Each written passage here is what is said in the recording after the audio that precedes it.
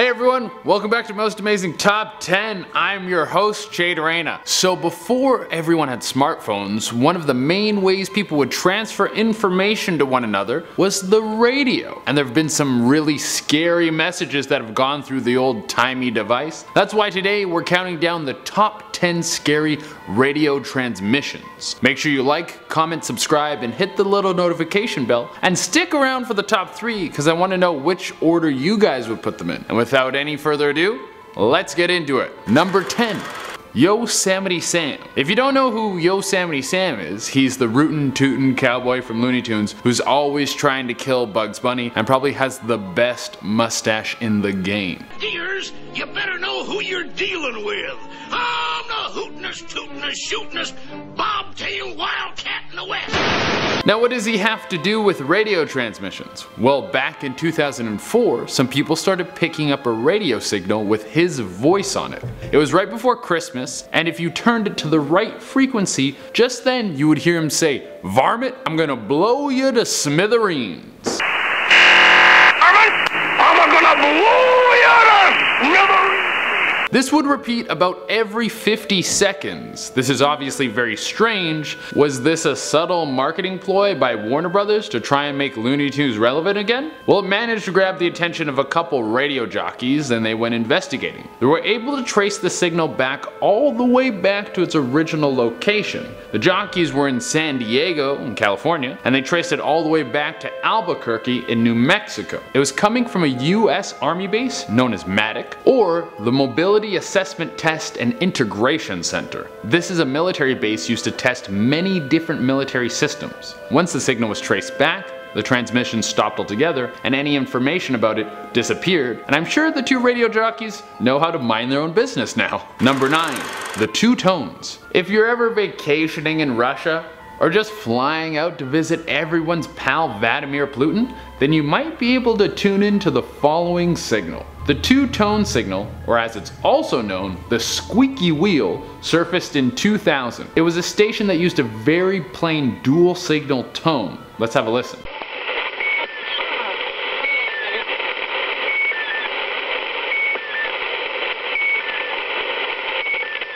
The rumor is it's been running from a Russian military base and the never ending alarm clock noise is used to keep the line open in case they need it to send out emergency messages to military forces. However, there are some pretty juicy conspiracy theories about the channel, like the constant signal is being sent out to space in some way to communicate with extraterrestrial life, or that the Russians have been using the frequency as some way to communicate with the dead. Who really knows? Next time you're in Russia, ask old Vladdy Poots and I'm sure he'll tell you. Number 8. The Gong. Tensions between America and Russia have always been high. They built their countries on two different ideals. Russia has communism and bear circuses, and America has capitalism and literally zero bear circuses. But after World War II, up until about the 70s, some signal would pop up all over the world. It was thought to be a Russian ploy to mess with America. It was a radio station that would play a gong.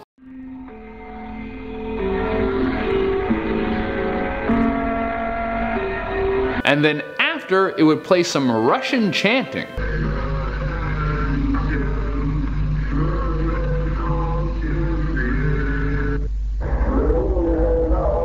It's still a mystery to this day as to what the gong station was. There are many theories as to why this happened. Most people who have gone digging into this think it was Russia's way of flexing on the whole world, showing them that they could put out a signal anywhere they wanted at any time they wanted to. Some people have gone deeper down the rabbit hole and think the signal was a way to wake up Russian sleeper agents that were all over the world. So winter soldiers would just stop popping up and doing their job that they're supposed to do that we don't know what it's supposed to be. But no one really knows. Number 7.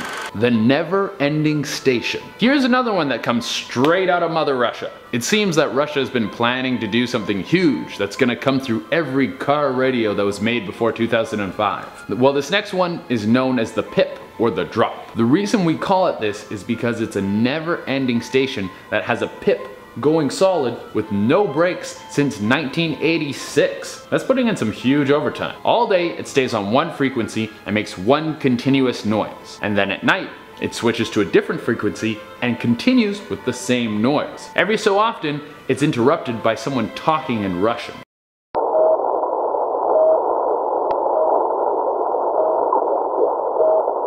From what I researched, it seems the station is used by the Russian government, but on the more conspiracy theory side of things, people think it's not the Russian government at all, but Russian rebel forces using the station as a way to send coded messages to each other. Number 6 the backwards music station. This one is very strange because unlike the others, there's no clear message. I know the name is the backwards music station, but that's just the name that they gave it. It doesn't play music at all, it's just these creepy noises with no explanation. Yeah.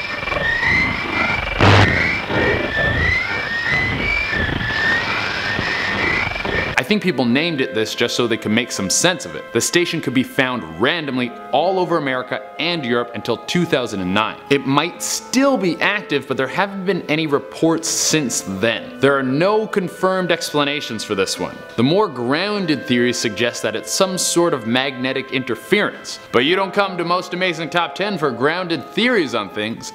My favorite one is that it's a signal from aliens that is a mind control noise. Aliens are using a strange frequency to take over people's bodies to spy on us. I don't know, maybe. Number 5.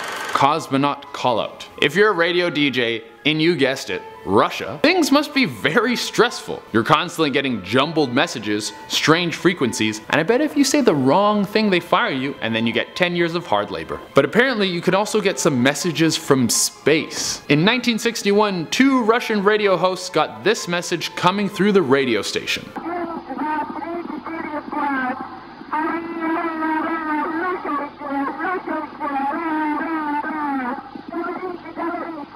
It's a woman's voice and it said that it might be a Russian astronaut. In the message she says, I'm hot, I'm hot, I see flames, yes, re-enter, I'm breathing oxygen. However, the origin is all speculation, as there is no exact information. It sounds like it could have been a transmission from the first woman ever to go into space, but we'll really never know. Number 4.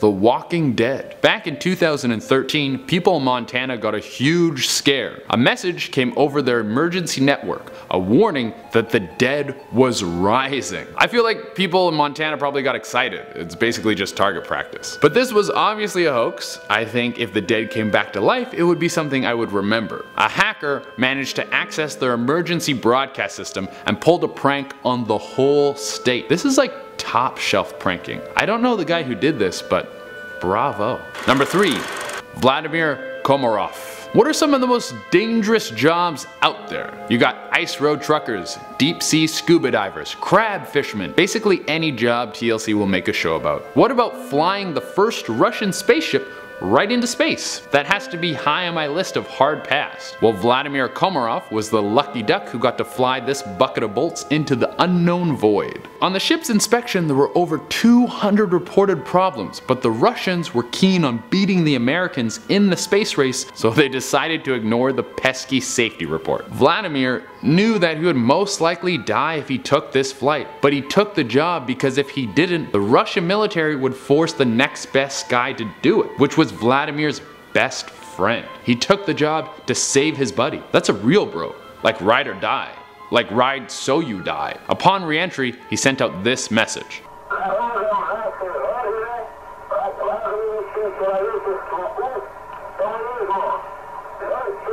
The spaceship was so poorly designed that the heat buildup ended up killing Vladimir, but not before he sent out a message cursing all the people who put him in the spacecraft. He went out like a G. Number 2.